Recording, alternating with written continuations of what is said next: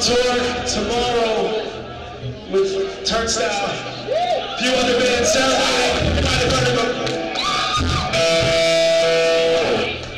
This is the perfect way to kick it off, so uh, once again, thank you.